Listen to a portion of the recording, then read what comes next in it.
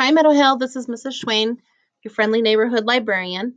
I wanted to let you know that we are having a book fair this week and next week, and I wanted to show you uh, where you can find information on that.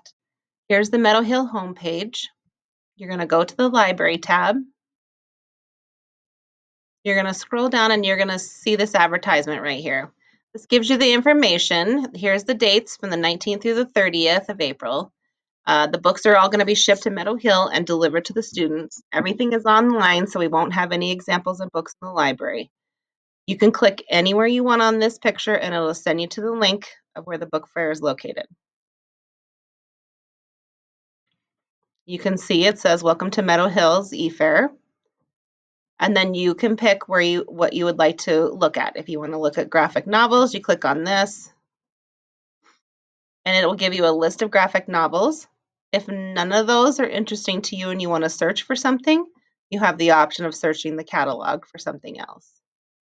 One other detail I want to show you is that you can make your own wish list.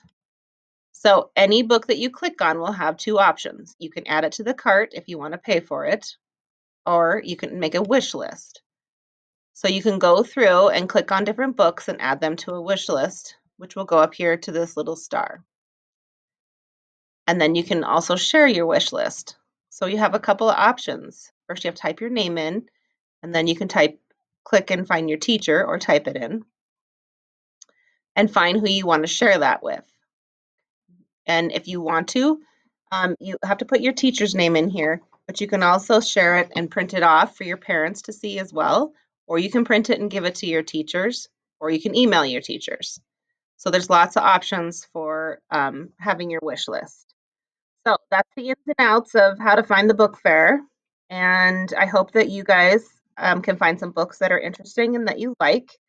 And um, hope you have a great day. If you have any questions, just stop by the library and we can help you with anything that you need.